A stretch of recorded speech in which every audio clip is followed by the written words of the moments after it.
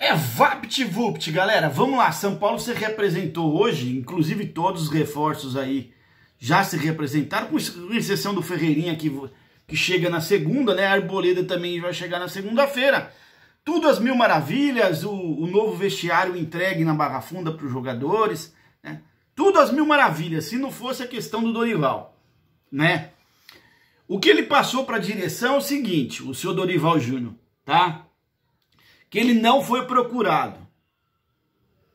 Até aí tudo bem, porque a expectativa é que ele receba essa proposta ainda hoje ou até segunda-feira, tá? A questão que tem que perguntar para o senhor Dorival Júnior é o seguinte, tá? E ele tem que parar de rolar e jogar limpo com a direção aí.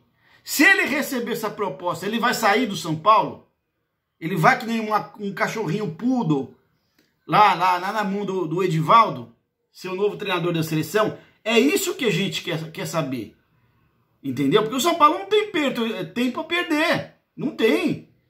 Pré-temporada começou hoje. É de suma importância que se o São Paulo for trazer um novo treinador, ele utilize essa pré-temporada para conhecer o elenco. É isso que pega. Porque não adianta ficar com o Dorival fazendo a pré-temporada se chegar daqui 10 dias que seja menos cinco dias de pré-temporada, ele for que nem um cachorrinho lá, né, na mão do, do, do Edivaldo e, e, e para a mão da CBF, porque aí prejudica a pré-temporada do São Paulo. Dias que o São Paulo possa usar com um novo treinador conhecendo o elenco. Vocês estão entendendo?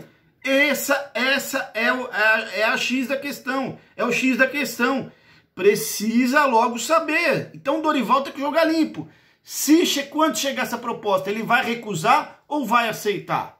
Jogue limpo com o São Paulo. Porque se ele falar, não, se chegar a proposta, eu vou. É o meu sonho. Beleza. Aí o São Paulo tem que intensificar aí e ir atrás de um treinador. A notícia boa que saiu é que lá dentro do São Paulo existe o consenso que o Voivoda é um grande nome, né? Então já como eu falei, vai preparando a grana aí, né? Para pagar a multa do Voivoda, porque o Fortaleza não vai liberar. São Paulo vai ter que pagar esses 7 milhões de reais pelo Voivoda.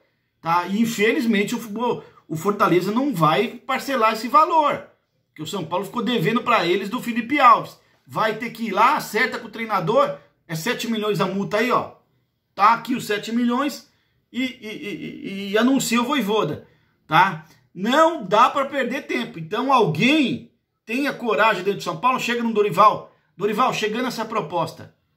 Você vai continuar aqui ou você vai aceitar o convite da CBF? Acabou. Jogue limpo, seu Dorival. Explica para ela, não posso, cara. Eu não posso ficar refém da sua decisão. Eu não posso ficar refém é, é, é de esperar a boa vontade sua e da CBF. Se chegar proposta, você vai sair?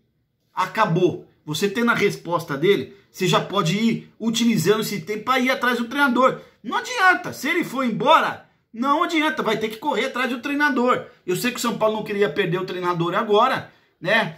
É, mas não tem jeito, gente. Não tem jeito. Se o Dorival sair, vai ter que ir atrás de um bom treinador.